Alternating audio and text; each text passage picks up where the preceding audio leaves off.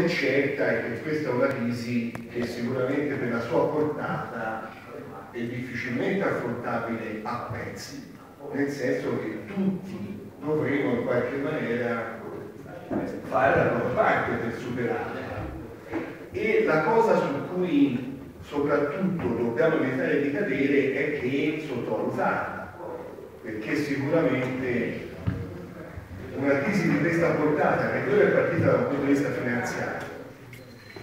Ha ragione Bianchi quando dice che è partita da una situazione in cui eh, la grande colpa è del sistema finanziario americano che non solo ha prestato soldi senza garanzie e crescendo su questi soldi senza garanzie ma soprattutto ha consentito nella propria mancanza di regole Franco se c'è una crisi applicare. La scorsa amministrazione americana ha consentito di fare opere di speculazione veramente pesanti senza avere controllo di regola. La bolla immobiliare americana in realtà è quella che ha consentito con l'afflusso di soldi drenati dal mondo cinesi eh, e quindi rispetto a questo ha fatto scoppiare questa crisi. È partita finanziaria ma oggi non è più solo finanziaria, anzi oggi è nell'economia reale. Ed è quello che colpisce direttamente l'Europa. Allora, sentivo prima questo ragionamento, perché guardate, l'intervento di Bianchi, su cui si può essere d'accordo, non si può essere d'accordo, è quello che se uno parla con gli artigiani, con i piccoli industriali, con chi con l'economia reale, cioè con chi fa i conti dalla mattina alla sera nella sua piccola azienda con due o tre dipendenti e l'imprenditore che sta sul pezzo insieme a loro e che non fa un lavoro diverso da quello, sono queste le si sentono. C'è una crisi che ancora non ha sicuramente raggiunto i propri bianchi, ma il fatto che i pagamenti avvengono sempre con ritardi sempre maggiori quando avvengono, che non ci sono più ordini nell'economia reale, cioè che c'è davvero un momento in cui attualmente alle banche non si chiede soldi per gli investimenti, ma si chiede soldi per poter continuare a tenere aperto in attesa che riparta l'economia reale. Questo è il dramma che oggi hanno gli imprenditori. E con loro, guardate, Mm, credo su questo davvero ci sia le grandi diversità. Non possiamo in un momento così dividere il sistema economico rispetto al sociale. Per questo non ce lo possiamo permettere. E non possiamo permettere, non per politica, ma perché probabilmente non possiamo uscire da una situazione di questo tipo e ne usciremo probabilmente fra un anno, un anno e mezzo, solo tutti insieme. Gli imprenditori dalla loro parte, e non quegli imprenditori che portano all'estero soldi o che giocano sugli acquisti eh, azionari. Eh, e ce ne sono tanti imprenditori che rimangono qui, che non vanno a produrre in Polonia o in Cina eh, delocalizzando perché molte cose oltretutto non si possono delocalizzare. E delle maestranze che sono la ricchezza degli stessi imprenditori. Quindi non è da vivere solo in contraddizione. Allora, è vero che le politiche distributive sono importanti, soprattutto dopo che l'euro ha spostato ricchezza.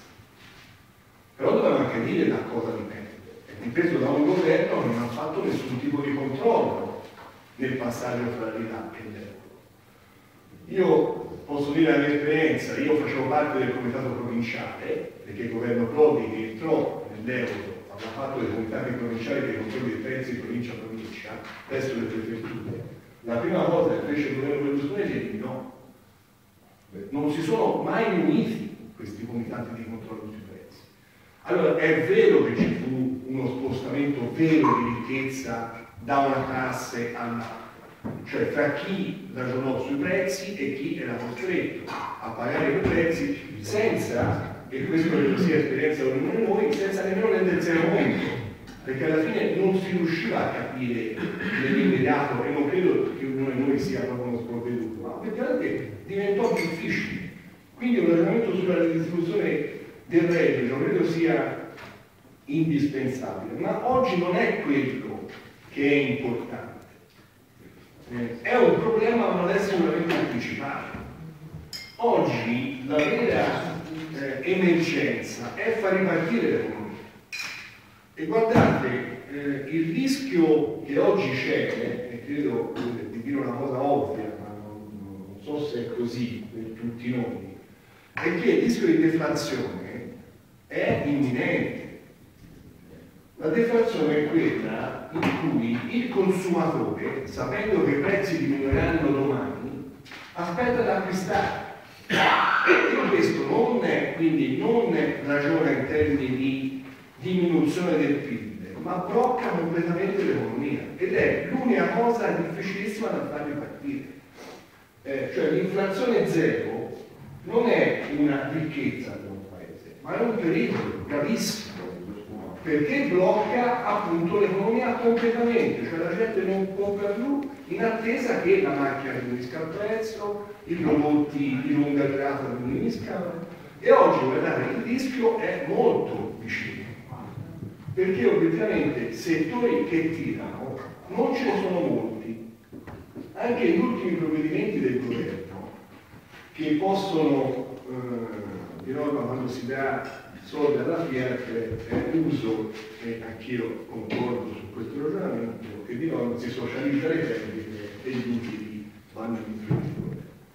Ma c'è un'altra faccia della medaglia. E se, eh, e queste le scelte sono nei singoli paesi, non tutti le fanno nella stessa maniera, se conviene continuare a finanziare settori che sono ormai maturi, o seppure, come dice Cioni, ci sono settori che invece hanno possibilità di crescita e non hanno eh, possibilità di avere finanziamenti. E questa è una scelta, non è una scelta semplicissima, perché una cosa è ragionare un settore che ha migliaia di dipendenti e un'altra è ragionare in termini di incentivare un settore di dipendenti e occupazionale da mercato. Ma sicuramente anche questo è un tema da non disdegnare nel momento in cui deve razionalizzare e deve dare scelte dove investire il denaro pubblico per fare garantire sapendo che questo denaro pubblico comunque non, è, non sarà sufficiente perché o riparte l'economia reale oppure il denaro pubblico non è assolutamente sufficiente per coprire gli investimenti, il sociale e tutto quello che ci sarebbe e chi ci sarebbe bisogno. Allora, noi come cosa possiamo fare? Beh, noi non è che possiamo fare molto, perché sicuramente le capacità di spesa di un ente, di un ente locale, ma anche a livello di circondario, di provincia o di regione toscana, sicuramente non possono incidere.